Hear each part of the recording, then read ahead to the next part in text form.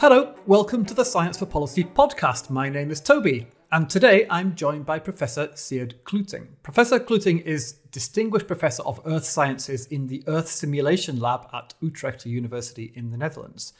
And in parallel to a long and very distinguished academic career, he's also spearheaded European scientific cooperation and integration, most notably as president of the Association of European Cooperation in Science and Technology, or COST, and as vice president of the European Research Council.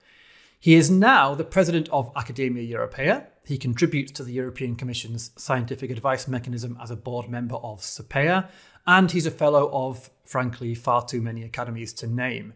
And last but not least, among multiple awards and honours, he was awarded, he was appointed Chevalier of the French Légion d'honneur, uh, despite, as far as I know, never having ridden a horse into battle on behalf of France or anyone else. So, Sierd, welcome to the podcast.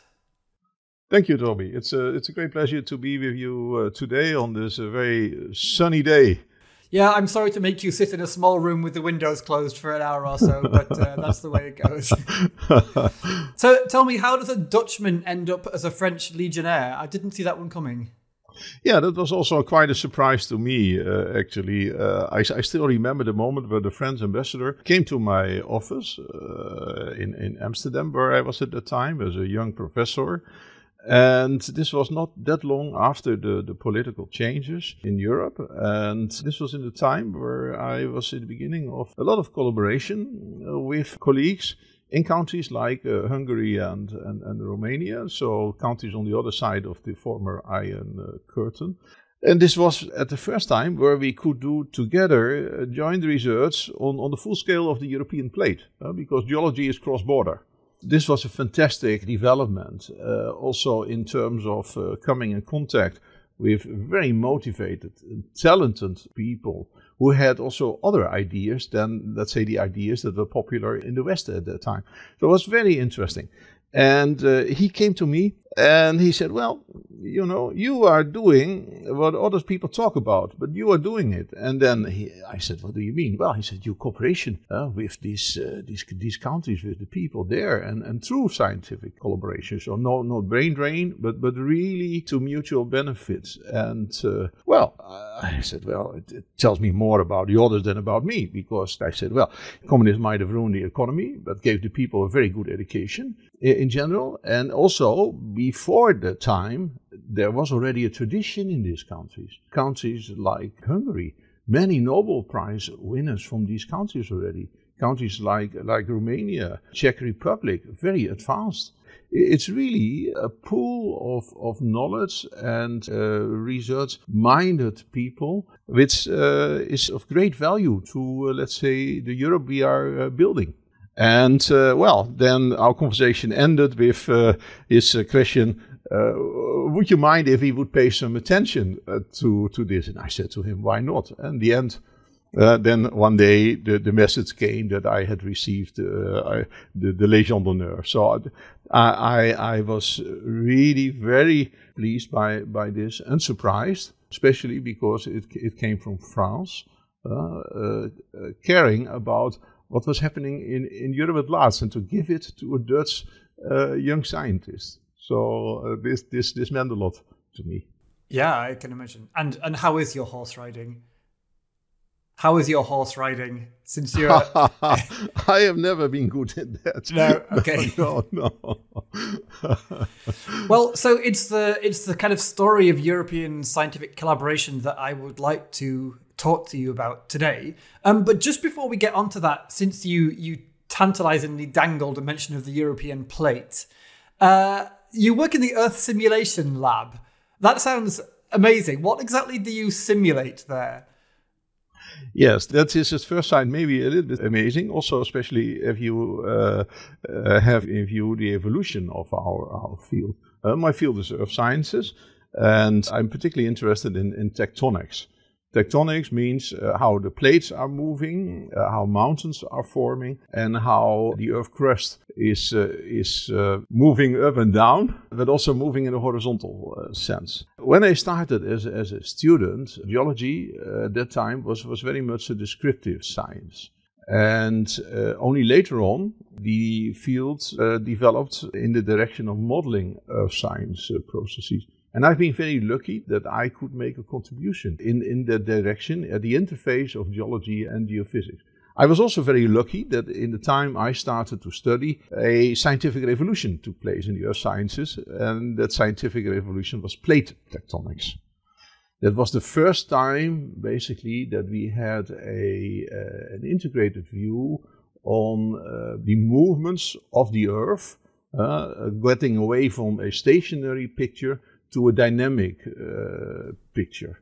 Ah, so before that, people didn't realize that the plates were moving individually and independently? Well, there were some early ideas, let's say already at the beginning of the, uh, the past century, uh, but there was not a feasible mechanism.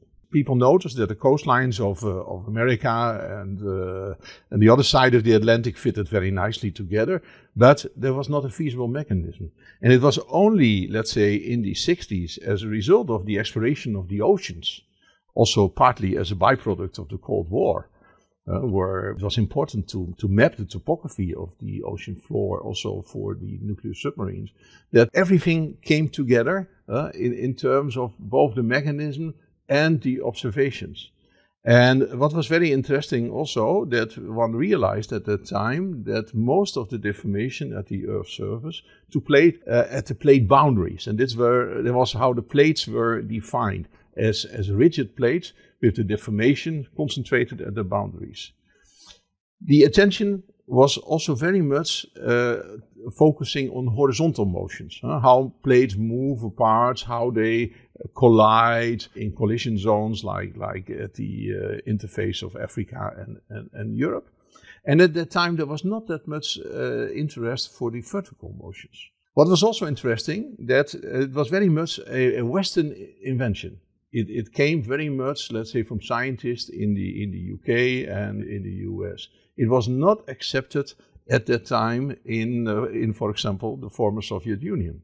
Because the former Soviet Union, of course, a huge continental area, plate tectonics was born in the oceans and was not that very useful uh, to, to study, let's say, the geological evolution of, of a large continent. And uh, it was only under Gorbachev where basically uh, plate tectonics was accepted as a uh, as a scientific discipline in the former Soviet Union. And I happened to be there at the time where a conference was organized by the late Lev Zonenshain, a really pioneer in earth sciences in, in the former Soviet Union. It was called Plate Tectonics in the USSR. And that was the first time that I met really people from that part of the world to develop a common view. And I'm still collaborating with many of them. How interesting. And, and this was a fantastic development. and, and I was very lucky that this scientific revolution took place in the context of a political uh, change. Uh, Glasnost, perestroika, and then later on, of course, the unification of, of Europe. And uh, what, what I have been doing very much is to bring plate tectonics uh, to, the, to the continents. And not only uh, studying, let's say, the, the horizontal motions, of the plates, but very much the vertical motions. So I became very interested in Earth topography, how sedimentary basins develop, uh, which are mankind's largest resource of, uh, of energy and fresh water, how mountains develop, and also, let's say, in, in items such as what is causing the formation of mountains far away from the plate boundaries. Uh, because plate tectonics predicted, first of all, that uh, the interior of the plates was rigid, so nothing should happen there. And we know now that's not true. There's very fascinating intraplate tectonics. We also know that we have mountains far away from the plate boundaries, like the mountains of southern Norway. This is very fascinating. Uh, and this can only be explained if we pay attention to the processes that take place in the interior of the plates. And it happened to be that a lot of the uh, processes are essentially coming from much deeper levels than we expected at the early days of plate tectonics. And, and today, I, uh, I'm doing a lot of work on, for example, the interaction of plumes, which rise all the way from the core mantle boundary, but also, let's say, from shallower levels, uh, and the interaction of these uprising plumes uh, to the Earth's surface and their interaction with the overlying crust. And this work I, I do uh, very much in follow up of a collaboration that started in the early 90s with Professor Evgeny Burov, Russian scientist, and uh, his, his, his co workers. So this is very fascinating. It's also interesting that I started uh, my uh, scientific work by seismological observations of the core mantle boundary. That is basically 3,000 kilometers deep in the Earth. I left that topic because I could not see the, the, the relevance of, of, let's say, that topic so much in terms of helping to explain geology at the Earth's surface. And then 40 years later, I came to the conclusion that basically what I did at that time was, after all, far more relevant in, in the context of the processes than I expected at that time. And, and something similar happened uh, in uh, the other domain of my research, and that is related to sea level change. By accident, I came to a tectonic explanation for relative sea level change, uh, which was attributed till that time uh, very much to waning and waxing of ice sheets and changing the level of, of sea level. But I, by accident, found another mechanism, which was the deformation of the plates and bringing them up and down. And uh, this was completely, let's say, against the, the common wisdom at that time. And at that time, one of the most cited papers in earth sciences was a paper by Bilal Haq on uh, sea level change. And I basically I came with an alternative mechanism. And at that time, I could never imagine that, let's say, um, 30 years later, uh, I would write a science paper together with Bilal Haq, bringing our ideas uh, together and talking about inherited landscapes as an explanation for uh, relative sea level change. So my career has been full of this type of unexpected uh, surprises. So a lot of fun.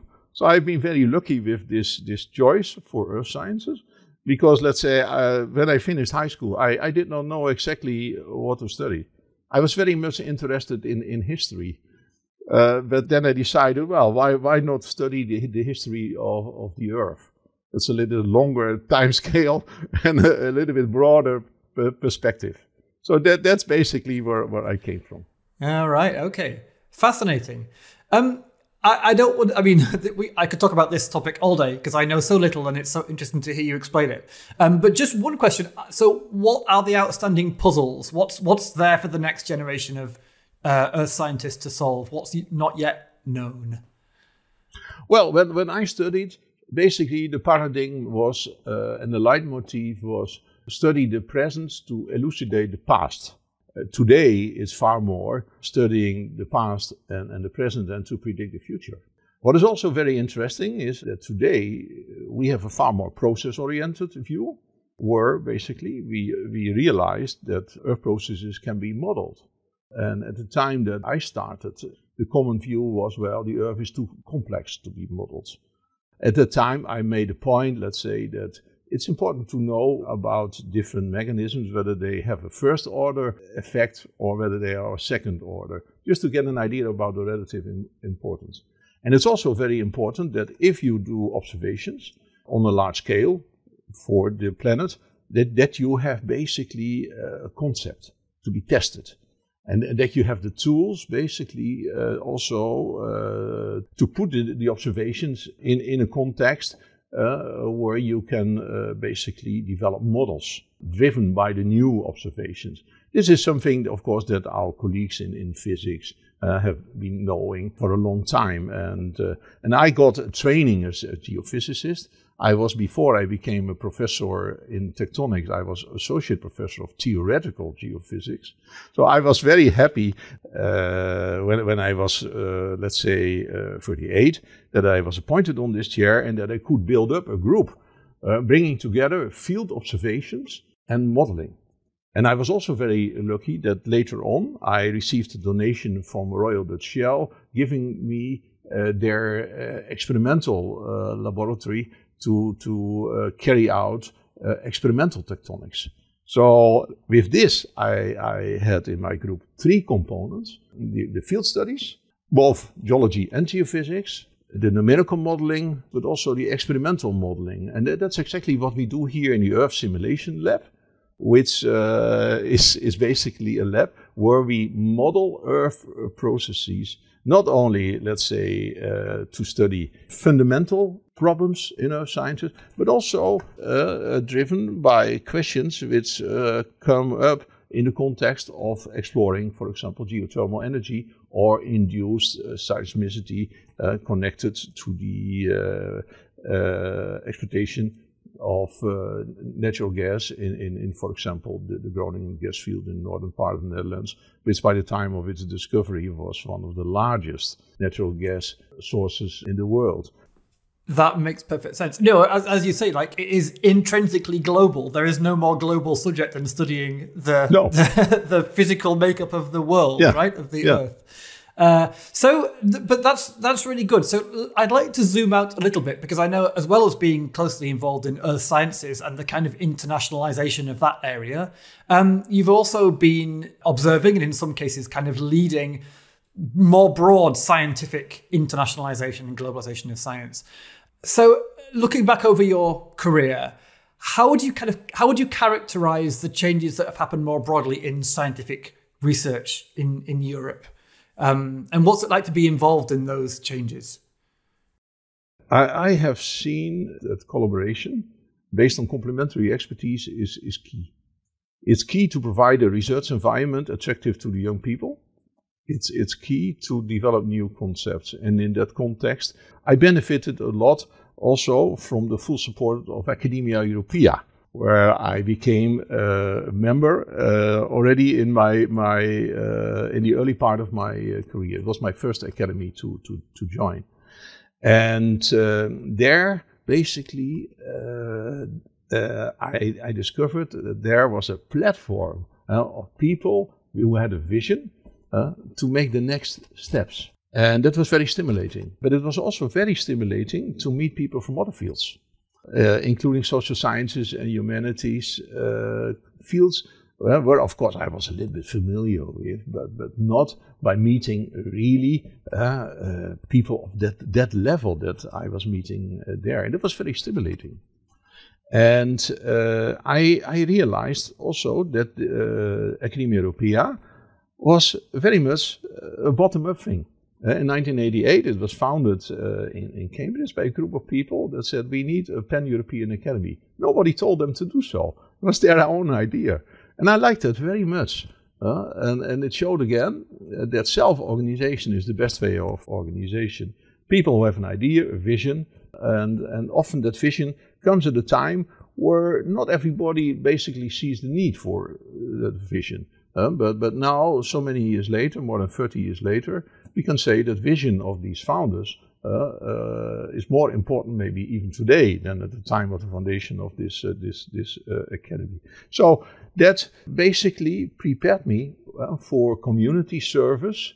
Uh, also in, in other contexts, like the European Research Council. I served there seven years as member of the Scientific Council and also term as, as, vice president. I have also served as president of the COST Association, which is the networking tool uh, in the European research area. A fantastic organization uh, which also provides the instruments for brain circulation. And uh, because also I have experienced that, let's say, that Europe uh, has been uh, a game changer uh, for my own field. And it was for me also important to see, let's say, that here science is not in splendid isolation, that is a common evolution. And uh, I think it's a fantastic achievement that today we have Horizon, that we have basically the largest public funded research program on, on, on the globe, which has been really uh, a, a, game changer. Uh, uh, and uh, when we talk about brain drain, of course, in the past there was a lot of brain drain from Europeans going to other parts of the world. And uh, with these programs, uh, like the programs of the uh, European Research Council, we can also basically provide uh, fertile ground for people to come back to Europe. And we need them for further economic prosperity, but also for coming up with, uh, with, with, new ideas that can change the science. To what extent do you think those changes in, in science are dependent on uh, broader political changes? How much of that could have been done without the broader program of European integration politically? I think the concept, let's say, of uh, the European research area has been a game changer. Uh, and here we can think about people like uh, Philippe Busquin, we can think about subsequent uh, commissioners. That's very important. At the same time, of course, the scientific community was ready for it. And, and I think uh, it's very important also to realize we need the instruments. Uh, we need large scale scientific uh, infrastructure uh, to be pooled. CERN is a beautiful example of that. In, in my field, let's say in the study of the, the, the oceans, ocean drilling, very expensive. So you need basically to combine efforts. Uh, and that's on a global scale, but it also has led to integration in, in, in European uh, marine uh, sciences. Um, so that has to be driven by a community uh, that, that basically is ready for it, that is bottom up. Uh, the same is basically, of course, also for uh, components of, of, of Horizon. ERC was an initiative of the scientists, bottom up. A group of people came together and uh, said, We need a European Research Council. And uh, they did it. And again, nobody told them to do it. So I believe very much, let's say, in this, in this bottom up initiatives. Uh, but at the same time, of course, we need also a vision uh, on, on, the level of the decision makers that creates uh, the tools uh, to implement it. That's why I, I, think a dialogue between the decision makers and the scientific community is extremely important. It's very important, of course, also to realize that scientific discoveries cannot always be predicted. Sometimes it takes a, a, lot of time. Sometimes it goes a little bit faster. And, and sometimes, let's say, uh, it's like with, with artists. Sometimes, really, the people with original ideas uh, uh, struggle a lot before finally, yeah, it's recognized. Huh? A, recent example is Katalin Karikó, who developed basically the base for uh, the, uh, the, vaccine that uh, basically is changing the world. Yeah, uh, this was basically a long battle for her, rejection after rejection. And only now people realize how groundbreaking her contributions were. Uh, and uh, fortunately, just in time. Uh, so I, I, think it's very important to have a long-term view in these things. At the same time, of course, issues like our environmental problems, health problems, there's a sense of urgency. So here we have to mobilize what we have today. And sometimes that can go pretty fast. Like the vaccine story, the base was there, but to basically put it in action, of course, has been uh, done in a surprisingly short time. So we need both. Uh, we, we, we need both. And that's also to some extent uh, the situation with the scientific advice for policy, uh, the, the, the, the need to respond, let's say, to short term needs. At the same time, not to forget the long term picture and also to realize where we have gaps in the science. Yeah, I definitely want to come back to the, the science advice. It won't surprise you to, to hear. Um, and that's an interesting point to, to pick up actually about the balance between the, the kind of bottom up scientific stuff and the, the top down urgent needs. But I, I wonder so it's interesting you say, and I've obviously heard a lot of scientists say similar things that you have different modes of making scientific discovery. You have the very directed, urgent priorities into which we pour lots of resources. So climate change is a good example right now, um, where you want to make progress as fast as you can, and it's kind of driven down, driven from the top because there's urgent need to solve the problem. But as you say, there's also this characteristic of science that it's unpredictable and that you don't always know when you start asking the questions what answers you're going to find and what kind of spin off results are going to come from somebody just piddling about in their spare time in a lab, you know, and suddenly discovers whatever it happens to be, penicillin, for instance. So it's clear in the first case what we can do to encourage it. We can put the resources in the right place. We can have a clear strategic plan and we can invest and make it attractive to work in those areas. What can we do to encourage or to kind of talent spot the second kind of research? How can we try and avoid the researchers who have got these bright ideas which are going to change the world languishing for 10 or 20 years, as he described, through rejection after rejection and not being discovered. Um, how can we kind of find those and, and give them the rocket boost they need? Are there ways to do that? I think what is very important, of course, to, to maintain and further develop a strong science base. Because without a strong base, you go nowhere. I have been visiting countries where I was asked for, for advice about future investments, where sometimes from the political side there was a tendency to invest everything on applied science. And I said, well, this is not the way. I've seen in my own field how things that we have been developing here have been quite important, let's say, for the further development of geothermal energy exploration. But it didn't start that way. Uh, and of course, now in the Tectonics group in Utrecht, we have a professor of geothermal energy who is also uh, a principal scientist for the Dutch uh, Organization for Applied Scientific Research, and who is a former PhD student of mine, and one of the leaders in, the, in, in this field. So, uh, but it was the strong science base in, in, general that, that paved the way. And I think this is very, very important. Creativity is, is crucial, but also freedom, scientific freedom in a broader sense. And, and you can see that in, in countries, let's say, where freedom is at stake, the scientists leave. They are the first ones. So I think it is extremely important to foster that. Uh, and, and also, basically, to accept uh, the risk of failure. Uh, in ERC terms, uh, uh, there is no difference between fundamental and applied. It's, it's frontier research. And in ERC terms, uh, one is always speaking about high risk, high, high gain.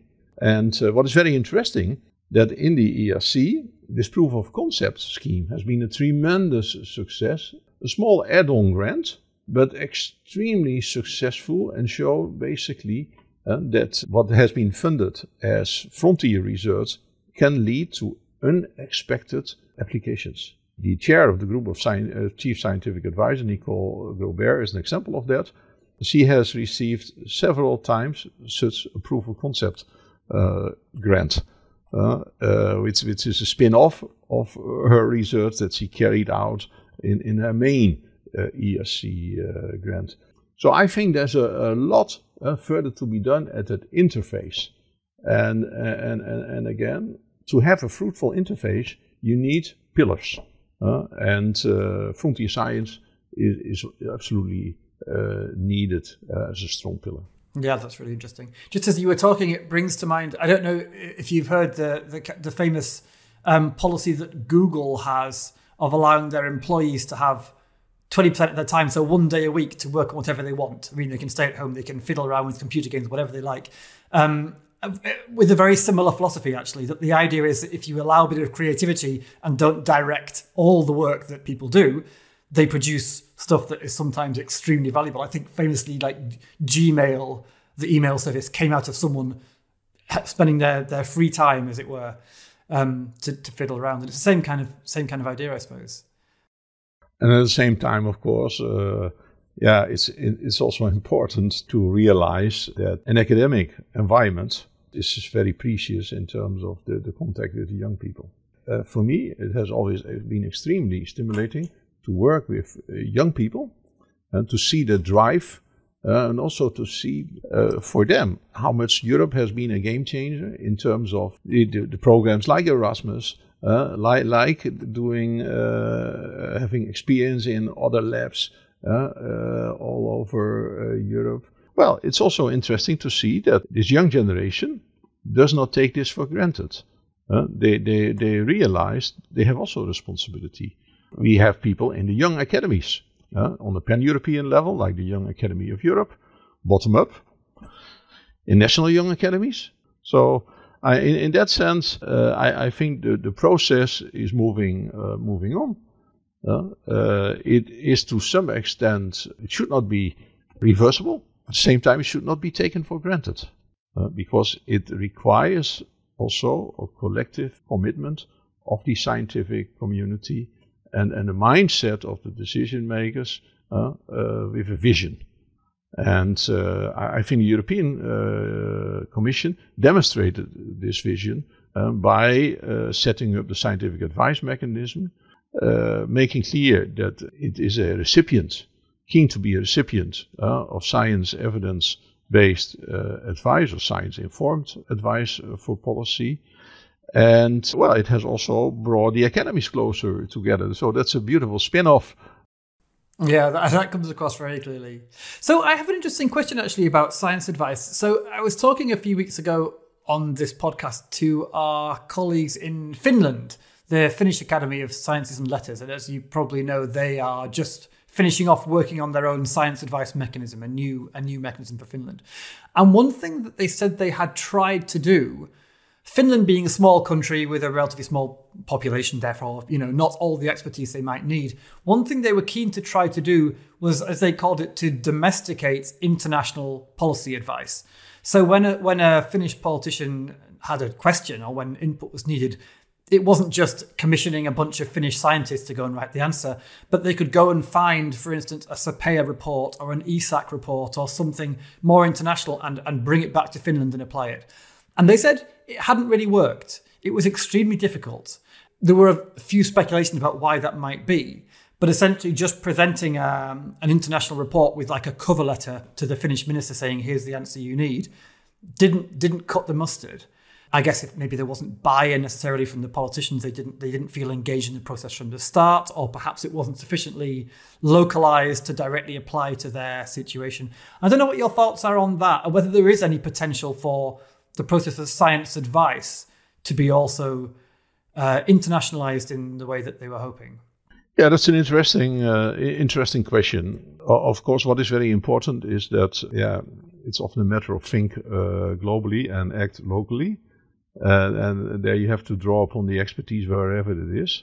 And I can imagine, let's say, in the smaller countries, it's very important to draw upon expertise and experts also from outside that particular uh, country.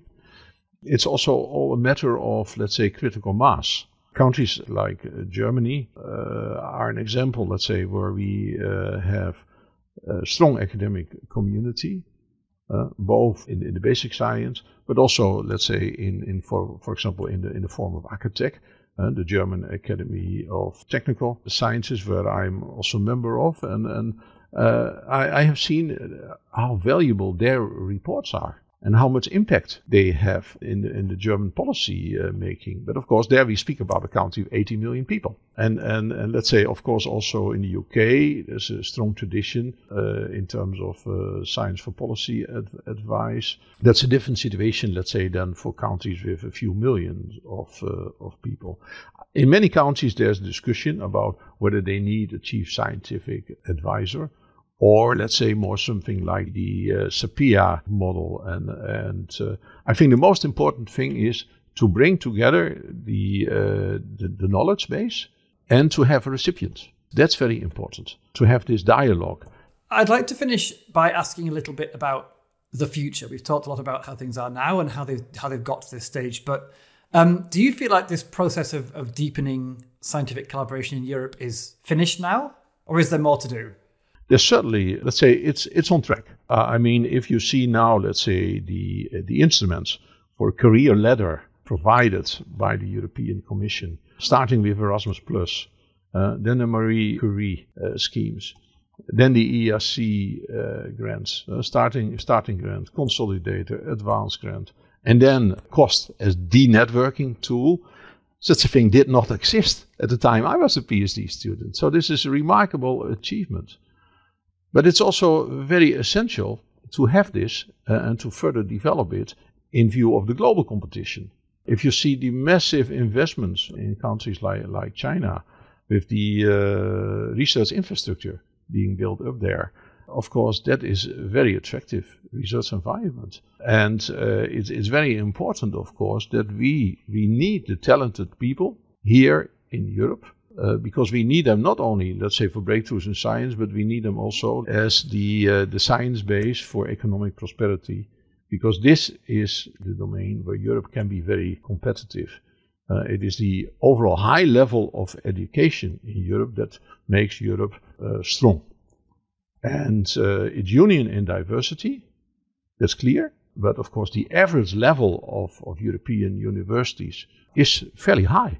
Of course, in global ranking, the attention is always, let's say, to the top universities. Um, but we should realize, of course, that in, in, in Europe, uh, we do not only have top universities, we have also uh, a very large number of very good uh, universities all over the place. And, and, that's not the case in many other countries, including the US. Uh, so I, I, think this sense of equality in Europe is also something precious. Not to concentrate everything just in a few places, uh, but to spread it in a way that it's, it's reachable for everybody. But at the same time, of course, also to avoid duplication. And, and that's what we see very much in, in the scientific infrastructure. But of course, something similar is happening also in the education to the schemes where people can go to different places in one educational program. So I think that, that, that that's a wonderful thing, and I would I would really expect at this stage that, that this be, will be further developed. Of course, here also the further dialogue uh, with the future employers of uh, the people that are trained in an academic environment is very important. Yeah, I think this is a process of trust uh, and of interest uh, to both sides, and uh, in that sense, the work is is uh, is clearly uh, is ongoing. Um, so then, the, the counter question to do you think it's it's ongoing is also do you think it's irreversible? Do you think do you see any kind of threats or, or counter influences to this process of integration that we've been discussing? on, on a European scale, on a pan European scale, basically, I, I, think the Union has demonstrated strength in handling a number of subsequent crises economic crisis, uh, pandemic. It's in general in life. Let's say if you go to a crisis and you come out uh, in a good way, uh, you survive it, you come out stronger. Uh, at the same time, of course, we know also that in a number of countries there are uh, developments where we should worry about in terms of academic freedom, in terms of basically the independence of institutions. That is something we must be alert on.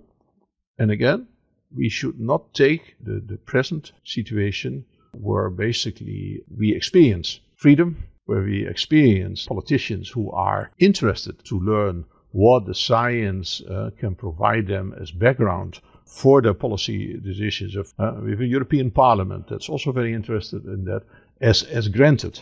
This is something very precious, and uh, as long as we realize that this requires a, a, massive commitment, we should not lean back.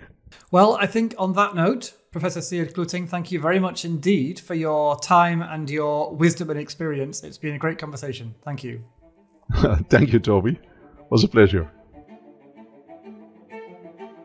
The Science for Policy podcast is produced by SAPEA. We're a consortium of Europe's academies and learning societies, and we're part of the European Commission's scientific advice mechanism.